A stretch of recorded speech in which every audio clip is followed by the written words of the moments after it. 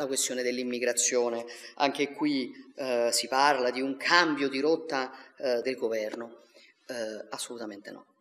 Il governo non intende cambiare posizione sul tema dell'immigrazione, la nostra posizione rimane sempre la stessa. In Italia non si entra illegalmente, in Italia si entra solo legalmente. Vogliamo combattere il traffico di esseri umani, vogliamo combattere gli ingressi illegali, vogliamo combattere le morti in mare. Non vogliamo in alcun modo continuare a favorire i trafficanti di esseri umani.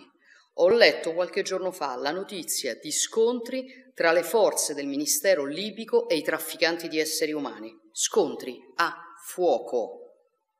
La gente che organizza le partenze dei migranti illegali verso l'Italia gira armata.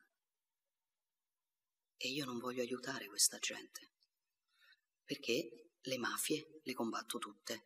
Continueremo a lavorare. Ovviamente bisogna lavorare molto a livello europeo, il coinvolgimento dell'Europa è fondamentale, abbiamo sempre eh, eh, rivendicato la necessità che l'Europa si occupasse di più del fronte mediterraneo, Abbiamo sempre parlato di affrontare la questione difendendo i confini esterni dell'Unione Europea, di una missione europea per bloccare le partenze, su questo stiamo lavorando. Grazie alla posizione del governo italiano, per la prima volta in Europa si fanno delle riunioni ed escono fuori dei documenti nei quali si dice che la rotta del Mediterraneo eh, centrale è eh, una priorità. Non era mai accaduto e quindi si stanno facendo dei passi in avanti a livello europeo, a livello nazionale.